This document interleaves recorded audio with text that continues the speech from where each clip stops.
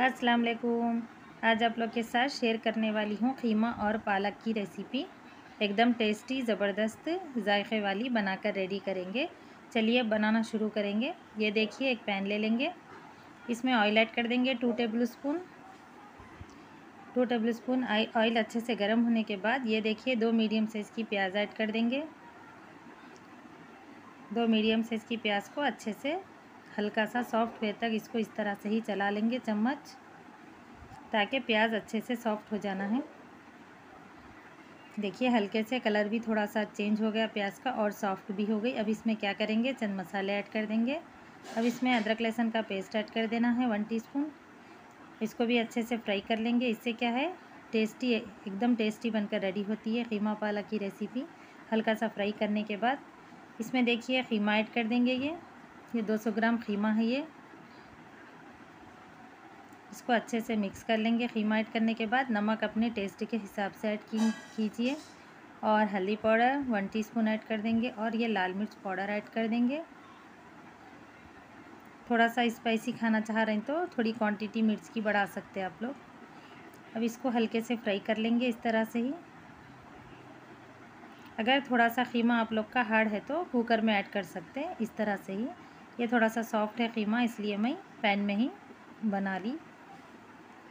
थोड़ा सा सॉफ्ट है तो पैन में बन सकता है ये। अब देखिए, अभी अच्छा सा फ्राई कर लेंगे और थोड़ा सा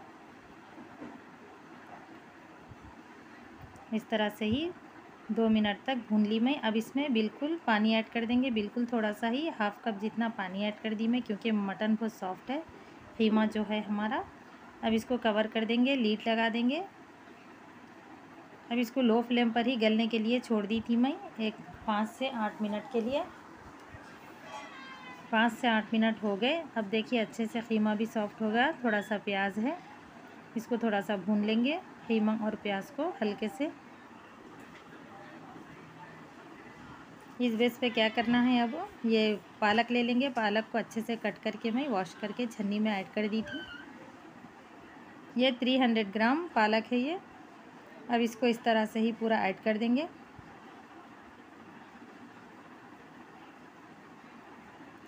अब इसको क्या करेंगे? बिल्कुल लो फ्लेम पर लीड लगा दे के छोड़ देंगे। एक फाइव मिनट्स के बाद एक बार चेक कर लेंगे। देखिए, पालक अच्छे से गल गई। अब इसको थोड़ा सा ऊपर नीचे कर लेंगे। इस तरह से मिक्स कर लेंगे।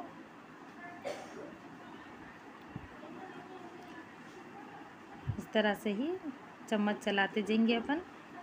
और पानी है और थोड़ा सा पालक और गलना है। इस बेस पे क्या करेंगे अपन? एक मुट्ठी जितना हरा धनिया है और हरी मिर्च है, ये दो स्लाइस की हुई। बीच में से कट लगा ली थी मैं। इस तरह से मिक्स कर लेंगे। हरी मिर्च की वो एकदम अच्छी आती इसलिए। अब इसको अच्छे से मिक्स कर लेंगे। अब देखिए, ये पानी जो है, अच्छे से ड्राई हो जाना है, क्योंकि पालक में भी पानी रहता इसलिए इसको भून लेंगे अच्छे से। इसको कवर कर देंगे, फिर से लीड लगा देंगे। लीड लगाकर एक लो टू मीडियम फ्लेम पर छोड़ दूँगी मैं। देखिए, इस तरह से ही रहना है। अब पानी अच्छे से ड्राई हो गया। इस बेस पे क्या करेंगे अपन?